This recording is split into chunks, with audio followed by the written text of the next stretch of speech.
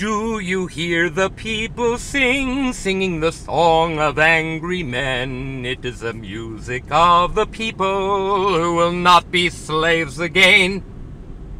Sorry, I know I'm a little close. I'm getting in your space. Just back away from the computer. I just wanted to know if you wanted to join me on my noble pursuit.